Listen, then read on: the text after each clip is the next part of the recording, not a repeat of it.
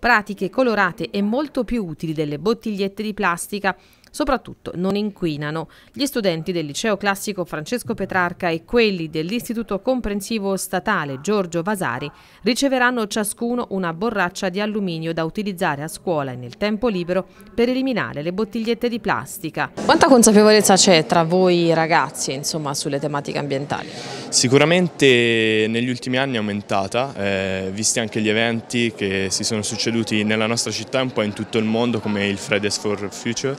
E mm, quindi siamo molto contenti come scuola di prendere parte a questo movimento con eh, varie eh, cose come appunto quella delle borracce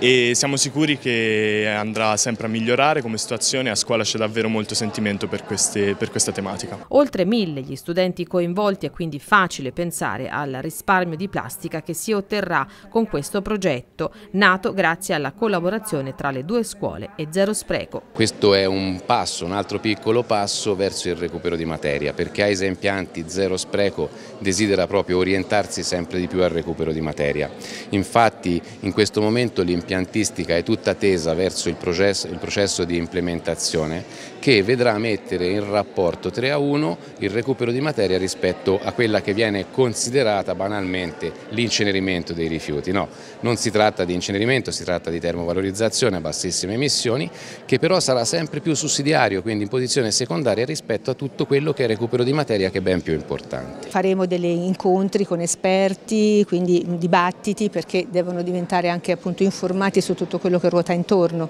al problema dei rifiuti, non in ultimo anche il discorso dello smaltimento sul quale no, ci possono essere anche opinioni molto diverse e spesso si prendono anche posizioni di un certo tipo, però è bene prenderle con la consapevolezza di avere eh, dire, delle risposte da dare a un problema che comunque esiste. I ragazzi devono crescere con la consapevolezza che il pianeta è uno solo e noi dobbiamo difendere in tutti i modi possibili per quello che eh, è il nostro dovere di lasciare agli altri, a chi verrà dopo di noi, un pianeta che abbia almeno le stesse caratteristiche di quello che abbiamo ereditato.